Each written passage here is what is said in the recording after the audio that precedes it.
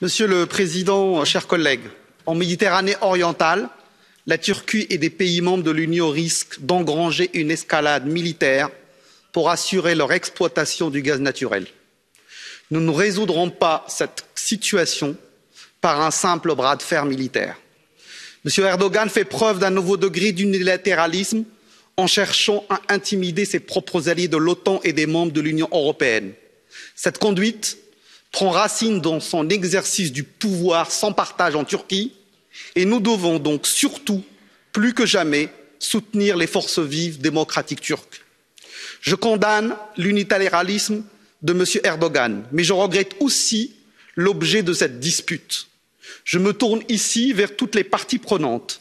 Nous allons à la confrontation entre pays alliés pour exploiter des ressources non renouvelables, polluantes et qui accélèrent le réchauffement climatique.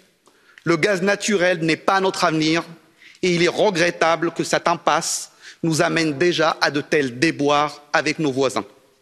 J'en appelle à un dialogue véritable avec la Turquie.